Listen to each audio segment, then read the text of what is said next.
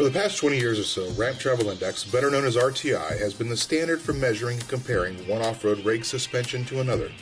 At events all over the country, RTI ramps at different degrees are used by clubs and organizations to compare rigs and hold fun competitions. The question is while it is definitely a fun way to show off, is it really an accurate measurement of your vehicle's suspension? In our opinion, RTI has limitations. Driver skill can affect RTI value. Different ramp angles yield different values. Location of measurement relative to the ramp is confusing. Different wheelbases yield different results. Weight distribution affects measurement. But most of all, safety is precarious at best. Vehicles flopping off a ramp is not uncommon. Like all we do at MetalCloak, as we entered the suspension market, we started looking for a better way of measuring the true capabilities of one's suspension system. Our solution Corner Travel Index. Better known as CTI, Corner Travel Index eliminates all the known problems of RTI and shows the true, real world capabilities of your vehicle. Driver skill has nothing to do with CTI value. No ramps are involved, so the values are not affected. Measurement is simply vertical clearance. Wheelbase is irrelevant to CTI. Weight distribution does not affect CTI.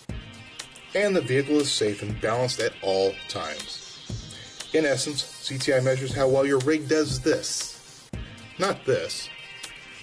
Conducting a CTI test is easy. The only tools you need are an air gauge and a method of lifting two tires at once. We recommend either a set of lifts like these or using a couple forklifts. There are basically two types of CTI estimated and certified. Estimated is the most popular test to do at events because it is quick and easy to complete estimated CTI tests the passenger side front and the driver side rear at the same time. Certified uses a stricter set of standards and can be used by builders and manufacturers in their own product development. For the purpose of this video, we are going to do an estimated CTI test using our CTI test platforms. First, locate a flat area to conduct the test. Have the driver pull the vehicle up.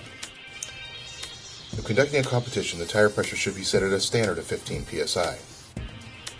Set at the passenger side ramp in front of the front passenger tire and the driver side ramp in front of the rear driver tire. Have the driver slowly pull the vehicle onto the lifts, centering the tires as best as possible. Raise the lifts equally until one of the other tires starts to come off the ground. Once raised, both lifts should be approximately the same height. Measure at the center of the lift to the ground. If using a forklift, put a rod across for the measurement. Add the two numbers, multiply by 2, and then multiply by 10. That is your CTI score. But unlike RTI, CTI is not just a score you get and forget. We developed a website, cornertravelindex.com, where you can register your CTI scores, compare your score to others, and see how changes in your build affects changes in your score. In addition, a PDF is available for download if you want to conduct your own CTI test. Corner Travel Index. How do you measure up? For more information, please visit cornertravelindex.com or call MetalCloak at 916-631-8071. MetalCloak. It's your Jeep, only better.